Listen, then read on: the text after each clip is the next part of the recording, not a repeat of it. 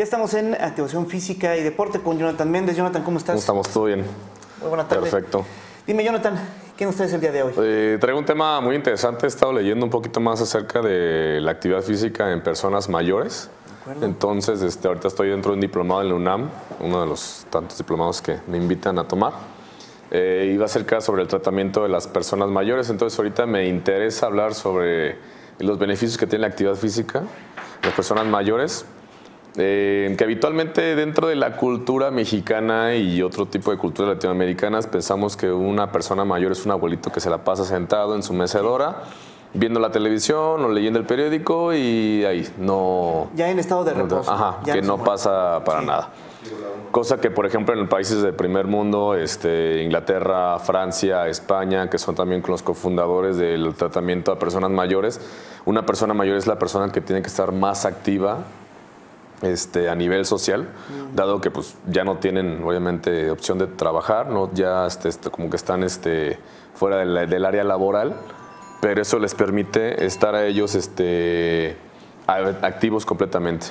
Entonces es bien, bien importante eh, tenerlo en cuenta eh, para, primero, para disminuir lo que son el tipo de lesiones que tiene a nivel articular y segundo, también para disminuir la parte este de, de pues, padecer otro tipo de, enfermedades, tanto crónicas degenerativas, em, y disminuir también la parte de, este, de la debilidad muscular y articular, que son muy propensos a, a tener caídas y posiblemente fracturas. Correcto. Digo, al final de cuentas es un ritmo de vida diferente al de, al de una persona, digamos, este, adulto joven. Sí. Por eso es la lógica esa, habría que modificar pues, en, la, en, la, cultura eh, latina, yo diría, ¿no? En, la cultura mexicana. Esto que mencionas del sedentarismo, que ya eh, se supondría aquí lo, suponemos para personas este, adultos mayores, cuando realmente es quien tiene más tiempo, ahora tienes más tiempo también para tener una actividad física preventiva. Digo, tampoco es de alto impacto. Digo, no, no, es, es, es, la parte preventiva, es de, de mantenimiento, por así decirlo, como se le llama en alguna bibliografía. Este, pero también hay que tomar en cuenta que este, qué pasado tuvo la persona. Si la persona fue, por ejemplo, estos que estamos viendo en las imágenes, fue un, atleta de alto rendimiento, un atleta que... Esta persona es este, un atleta. que hizo ejercicio pues, durante toda su vida. No le voy a poner un tipo de actividad física con liguitas porque me, me va a decir, pues es que no, o sea, me voy a aburrir. Entonces son personas que directamente tienen una secuencia anterior de actividad física, que sus fibras musculares aún siguen este, fortalecidas, que el tipo de alimentación es diferente, que también este, lo que es eh, eh, las lesiones o enfermedades crónicas no, han tenido habitualmente, es como mencionábamos, hay adultos jóvenes y adultos ya un poquito de, edad avanzada, pero también hay que eh, proporcionarlo en, adultos sanos. Correcto. Muy bien. Y entonces, ¿será una de las actividades que ya empieces a ofrecer en el Functional Health?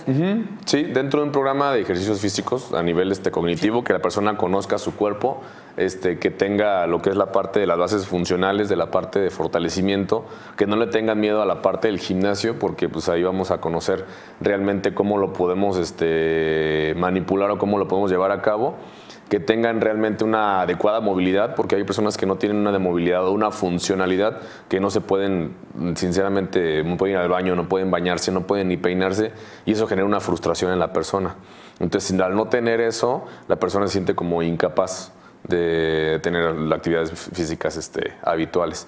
Lo que queremos manejar es la movilidad, el fortalecimiento, este, que la persona tenga la funcionalidad tanto de ir a a comprar su propia comida, este, de ir, por ejemplo, a, la cocina a servirse un café. O sea, esas son cosas básicas directamente de la parte funcional que nos permite la parte de la fuerza.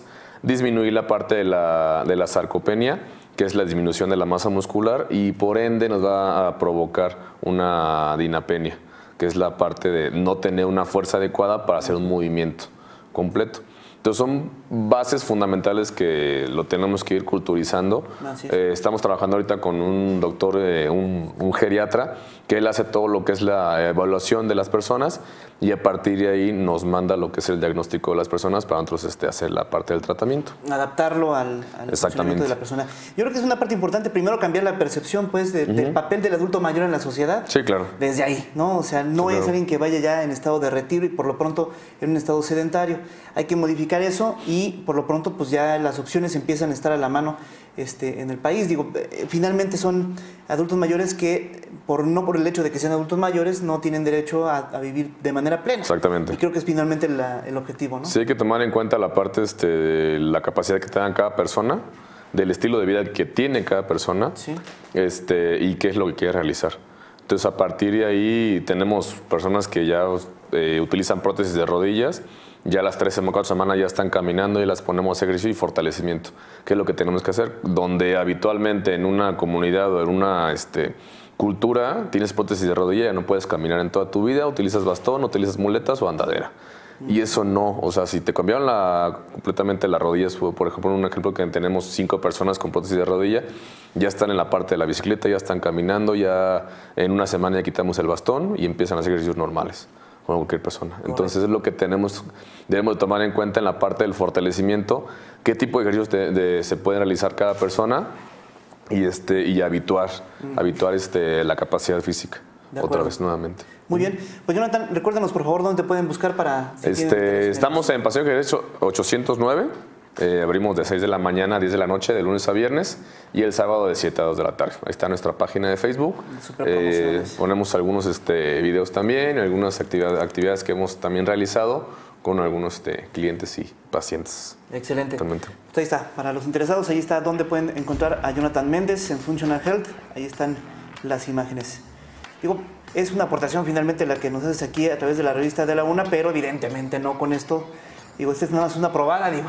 Los claro que sí. tienen que ir. Internet directamente para conocer qué tipo de programas tenemos. Tenemos programas tanto infantiles, eh, programas para jóvenes, programas para adultos, adultos mayores, eh, personas que ya tienen algún tipo de operación, algún tipo de lesión. Ahí los podemos eh, tratar. Todo va de acuerdo a un, un tipo de diagnóstico que tiene cada, cada persona. Excelente, muy bien. Atención personalizada en Functional Health. Jonathan, muchas gracias. A ti. Ahí está. Aquí estamos en física con Jonathan Méndez. Vamos a un corte y regresamos.